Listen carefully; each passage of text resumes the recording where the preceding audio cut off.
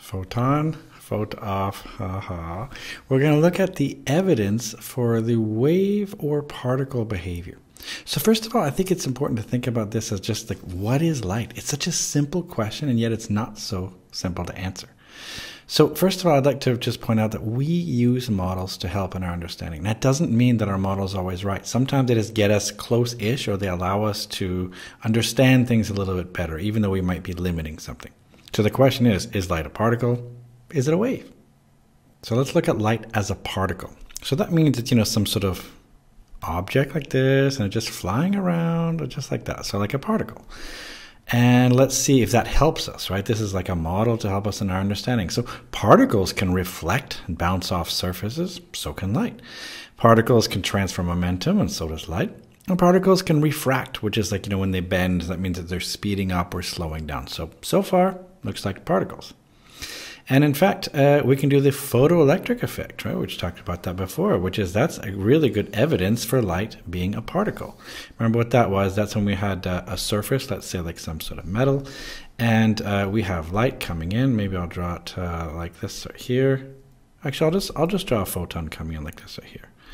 Uh, so I'll say that's light, and we'll say the light it uh, kicks off an electron. And the electron goes flying like this. That's like photoelectric effect. Where this right here is a metal like zinc or whatever. All right, well, only particles, uh, they're, they're the only ones who can have a sufficient localization of energy to kick off an electron from the metal. It's not explained by waves. Like a wave can't do this. So that means, hey, great, we got a conclusion. Light is a particle. It cannot be a wave. So we've solved it. Hooray.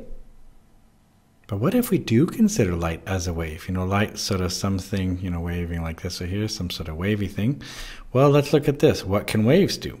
They can also reflect. They can bounce off surfaces. They can refract. They can speed up or slow down. But what's important is this. Waves can also diffract. And so does light, by the way. So that means that you can take light, pass it through some small opening, and light will end up making these weird patterns. Like, you know, it's going to be bright in the middle, maybe, and then it's dark, and then another spot like this here. This idea of diffraction right here, diffraction is evidence that light is a wave. And, and that's because to diffract, light has to interfere with itself. So, in other words, we're talking about constructive or, or destructive interference. And it turns out diffraction cannot be explained by particles. So that means light must be a wave cannot be a particle. Are you noticing a problem here?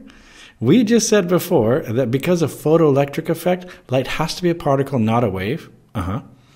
And then we just said that, hey, because of diffraction, light has to be a wave, cannot be a particle. Uh-huh. So which is it? Is light a particle or is it a wave? Look very carefully at this right here. What did you first read when you saw this? Did you read the word wave? You can kind of see it as W a V E, or did you read it as particle? P A R T I C L E. Ooh. So basically, the question is Is light a wave or is it a particle? The answer is yes. it's a particle like wave. In fact, we've invented something. We actually call it a photon. So this is this idea that you know you can have some sort of. I'm just trying to draw something like this right here. So this right here is what we call a photon, and the way I've drawn it is kind of cheap because if you zoom in, it's a wave, but if you zoomed way out, it's kind of like a particle. And that's why I put this here. Are light particles or is it waves? Only answer if you can do so concisely in like five minutes or less in a way that's dumbed down. Otherwise, feel free to pass. It's like, are light particles or waves? Yes. So what's really going on here is just this. Again, we got stuck with our models. Our models were that light has to be a particle or it has to be a wave. Why can't it just be its own thing? And sometimes a particle helps to explain it. Sometimes a wave helps to explain it. But light is light, it does its own thing. So we have to just be aware of our models and our limitations to those.